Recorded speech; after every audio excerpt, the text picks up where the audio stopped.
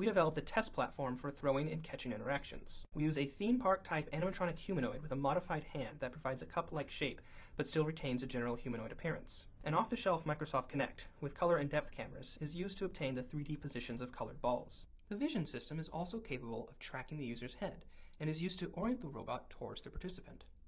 After a few initial practice tosses, all participants were able to successfully throw to the robot's catching hand. Subtle head turning gives the appearance the robot is tracking the ball with its eyes. We included several animations to acknowledge a missed or dropped ball, such as shaking the head, looking behind, looking down, or shrugging the shoulders. The animations often solicited spontaneous reactions from the participants.